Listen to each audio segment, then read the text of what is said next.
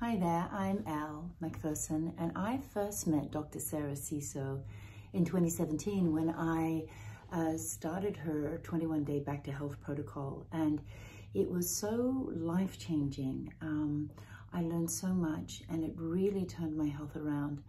Uh, that and combined with my own WelleCo products. And she is such a knowledgeable and dedicated uh, professional. I'm very familiar with um, medicinal health and I can highly recommend her for anybody who's wanting to uh, dig deeper into their own wellness protocol, to heal from illness, uh, or even just to refresh their own well-being, whether it be to lose weight or to get to the source of inflammation. She's an excellent guide through a plant-based diet and veganism. And as she says, let thy food be thy medicine, medicine be thy food.